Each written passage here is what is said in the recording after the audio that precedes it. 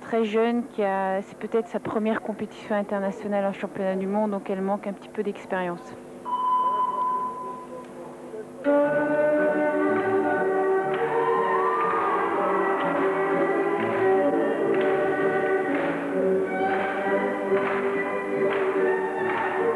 Théodora Alexandrova pour la Bulgarie au massif.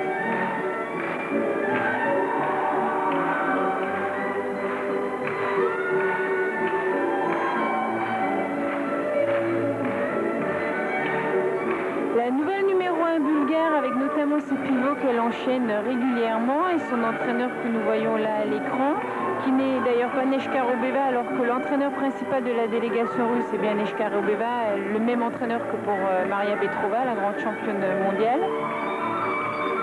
Théodora a un petit peu un physique petit, mais elle a de grandes qualités, notamment sur les pirouettes.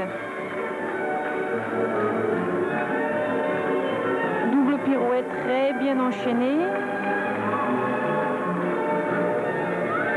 Un grand lancé sur un deux double tour illusion.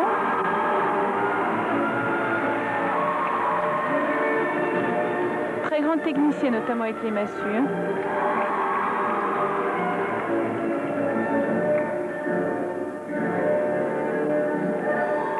Excellent. Excellente démonstration vraiment de Théodora Alexandrova qui euh, perpétue vraiment, euh, nous le disions tout à l'heure, l'école bulgare. Initiée, on s'en souvient, par euh, l'inoubliable Maria Petrova, championne du monde, championne olympique. Présente d'ailleurs aujourd'hui. Présente, absolument. Il va du reste y avoir ce soir à Berlin une soirée qui va réunir toutes les anciennes euh, championnes du monde et olympiques